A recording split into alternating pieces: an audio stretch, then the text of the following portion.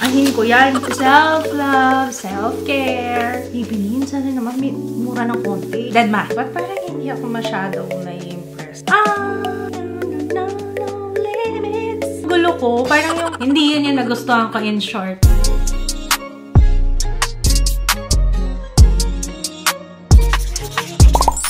Hello everybody! Welcome back sa ating channel! feel na feel ko yung ano, yung headband ko ngayon. O, diba? Girl na girl. Matchy-matchy sa aking dress. So today, ang gagawin natin is swatches ng pinakabago ng Maybelline. Maybelline Cheek Heat Sheer Gel Cream Blush. So bumili ako ng apat na shades.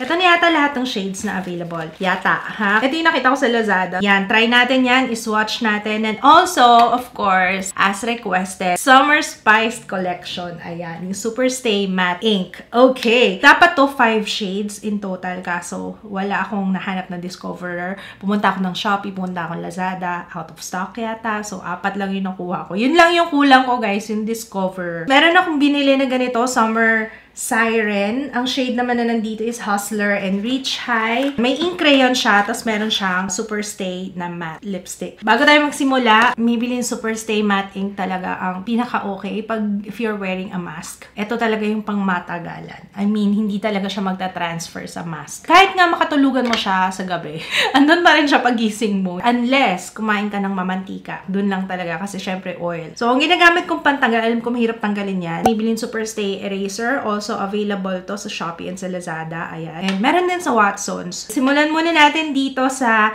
Maybelline Cheek Heat Gel Cream Blush, Sheer Flush of Color, Lightweight Feel. Okay, ito siya. Natural looking, dewy finish. Oh my goodness, di ko nabasa yon. Dewy finish, lightweight, breathable feel, water-based formula, and oil-free. So, it's water-based naman. So, sana okay naman siya sa aking oily skin. By the way, yung mga products na ginamit ko on my face today, as usual, nasa description box. Hindi na ako nagkukuha kasi magluluto ako mamaya. Kaya, kaya nga ako nakaganito, nakadress, nanay rolls, kahit na yung makeup natin hindi pang, hindi pang luto. Kiber, dami kong makeup, sayang eh, no? Suotin ko. Ahin ko yan. Kahit di tayo lumalabas, ba diba? Sayang eh. Tsaka it makes me feel good kahit na nasa bahay lang kapag ka nakaayos. You know, parang kahit papano eh, binibigyan mo ng time sa sarili. Self-love, self-care. Medyo namamahalan ako dito, 299 pesos. Dapat multi-purpose gel cream ka na. Kasi 8 ml lang siya. Maliit lang, 8 ml. Pero, okay, tingnan natin. Unahin nating i-swatch is si Nude Burn. Meron siyang foil dyan, guys, ha. Sealed for your protection. Ay, nice. Ay, dewy nga siya. Pero parang gel gel. And malamig siya sa skin. Ayan si Nude Burn. Next shade, parang peachy pink color. Bet ko si ano ha, si Nude Burn, parang effortless, parang hindi halata na naka-blush ka. Siya yung pinaka-natural yung effect. Fuchsia Spark, let's see. Okay. Ay, ay, maganda rin siya.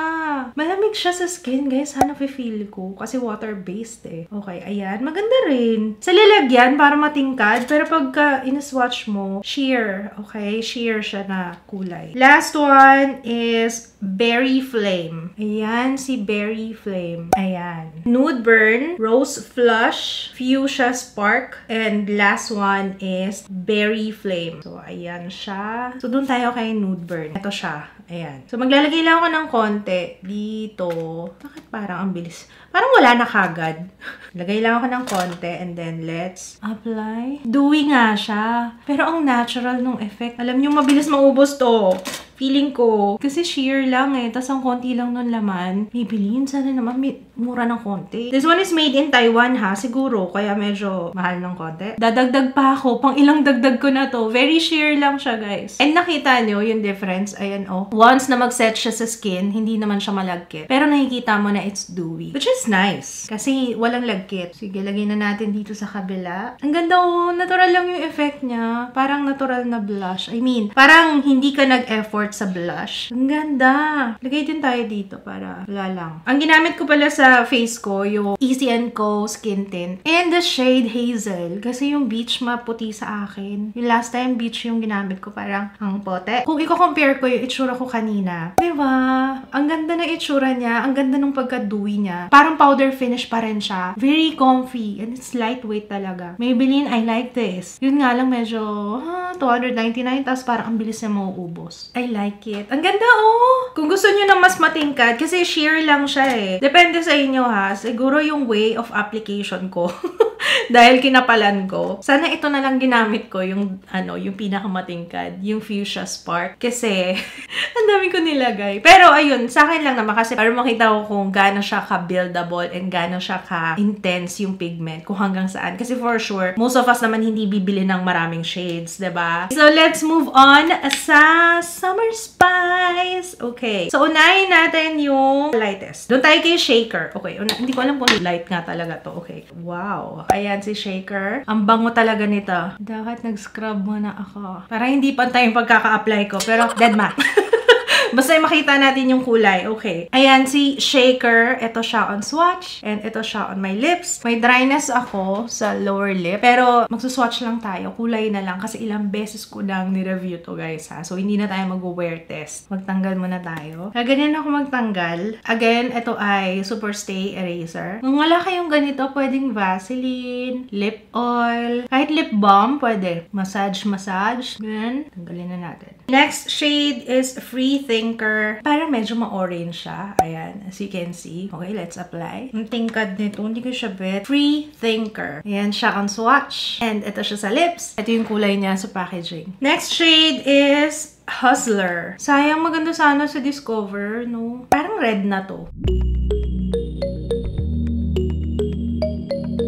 Okay, ayan si Hustler. Ito siya sa swatch. Ito siya on my lips. And ito siya sa lalagyan. Last shade sa Summer Spice collection, uh, we have Innovator. Parang matingkad to na red. Yep, ayan siya. But parang hindi ako masyadong na-impress. I don't know. Baka ako lang. This one is patchy. Mahirap i-build yung kulay nito. Don't get me wrong ha, maganda pa rin yung kulay. Ito kasi parang, ah, warm tones talaga siya. Pero parang, I don't know, parang iba yung nasa isip ko ng Summer Spice. Parang more brownish. Ito kasi parang antitingkad. I don't know, baka ako lang talaga. Before tayo mag-move on dun sa ibang shades na feeling ko eh, pasok pa rin naman sa Summer Spice collection pero hindi lang nila sinama. Ipipilit ko lang talaga. Wala lang, para may options tayo, ba diba? Unahin natin tong, okay, dito muna tayo sa Maybelline Superstay Ink Crayon. We have the shade um, Reach High. Alam nyo, this one looks nice. Okay, ayan si, oh, yes. Ayan si Reach High. Let's apply. Alam ko may magtatanong kung anong difference ng ink crayon sa Superstay Matte Ink. Yung Superstay Matte Ink, it's liquid matte. And matte talaga siya. Ito, pag may napapansin kayo, parang may shine pa sa labi. So, ayan, ganyan siya. Ang ganda ng kulay nito. This one, I can wear kahit every day. And also, isa pang difference siya with Superstay Matte Ink, nagta-transfer po siya. Ayan, may transfer. Nagiiwan pa rin naman siya ng stain, but hindi siya ganun ka-transfer proof unlike kay matte ink. Parang minimal transfer lang naman siya. In my opinion, sa akin na, based sa paggamit ko. Actually, mas gusto ko nga siya kapag kunwari, dinampi mo pa lang. Magdampi ka pa ng tissue para to make sure na hindi siya kakalat. So, ganyan ginagawa ko guys, especially pag naka-mask. Tapos yung ginamit kong lipstick, eh, alam kong magta-transfer sa mask. Hanggang sa wala ka nang makuha, ayan, wala na akong makuha. So, let's try again. Wait lang. Check natin ulit. Ayan, wala na. Ayan, okay? So, ayun guys ha, isang tip. Ang ganda ng kulay nito sis. Parang ito yung gusto kong suotin. Parang wow talaga. Mm -hmm. Okay, next one is no, no, no, no limits. No. Okay, ayan siya. Ayan, ito. Parang pula na to. Isa pang difference ng matte ink sa Superstay Ink Crayon. Ito, ordinary na makeup wipe, pwedeng matanggal. Si matte ink, kailangan mo talaga ng eraser. And of course, kung beginner ka, mas maganda to. Kasi patulis siya eh. Kung masanay ka sa mga bullet or lip uh, crayon, ayan. Hindi mo na kailangan ng lip liner dito. Maganda siya. Ginudge ko siya kagad. Sabi ko parang mapula. Maganda! So, balik na tayo ulit sa Superstay Matte Ink. And ito isasama ko lang siya guys ha. Hindi talaga siya kasama sa Summer Spice collection. Pero sasama ko lang siya kasi ito yung mga nakita ko na parang andun pa rin siya dun sa warm shades, pero hindi siya ganun kapula. Hindi ko pala nasabi yung price niya, 279 pesos yung Super Stay Matte Ink. Pero ang regular price niya is 329 pesos. Ito naman, yung nakaset na Summer Siren is 648 pesos. So, may isang ink crayon and isang uh, Super Stay Matte Ink. Amazon yan. Let's see. Ayan. Hmm. Yan mga Gusto ko. Sige, apply natin. Ayan ang sinasabi ko. Ganda. So, ayan siya on swatch. And ito siya on my lips. And ito siya sa packaging. Hindi siya kasama sa Summer Spice. Pero para sa akin, ito ang bet ko. Gulo ko. Parang yung title nitong video, Summer Spice. Pero, nagbibigay ako sa inyo ng options, guys, ha? Para if ever, hindi rin pasok sa preference nyo yung mga kulay na pinakita ko kanina, at least may options tayo iba. Okay. Try natin si Fighter. Ito siya. Ayan, ang ganda rin. O, ba diba? Ang pangit na ng swatch ko.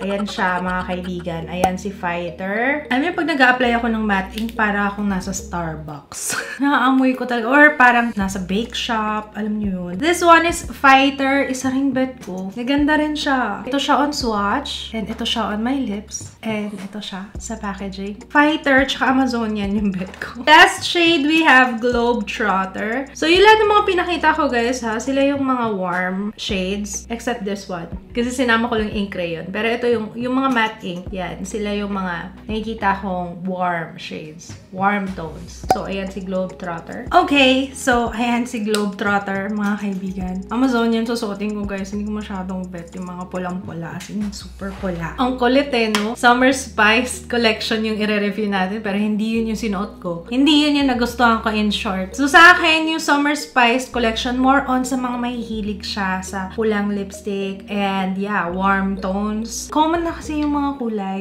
Preference yan. Pagdating talaga sa mga kulay sa lipstick, preference, okay? Pero ito yung napili ko, si Amazonian. Yun yung bet ko eh. Ang ganda oh. ba? Diba?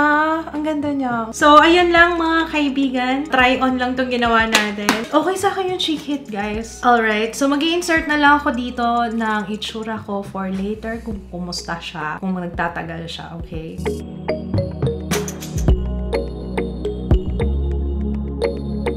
Okay, so yun lang mga kaibigan. Sana na-enjoy nyo tong video natin ng swatches na hindi ko naman nagustuhan.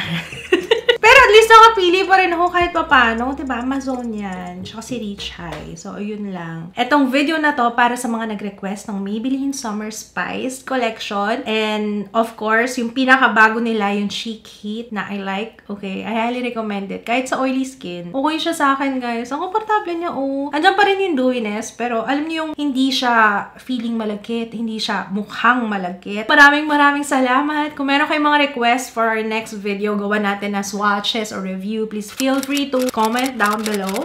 And lahat ng ginamit ko on my face nasa description box. Okay, listahan. So, yun lang. Thank you so much for watching. Kung hindi ka pa nakaka-subscribe, make sure to subscribe and click the notification bell para lagi kang updated. And don't forget to thumbs up this video para sa labi ko. Thumbs up nyo naman yung labi ko. See you on my next one. Bye!